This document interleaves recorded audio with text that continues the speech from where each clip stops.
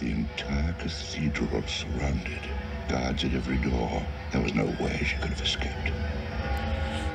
Unless.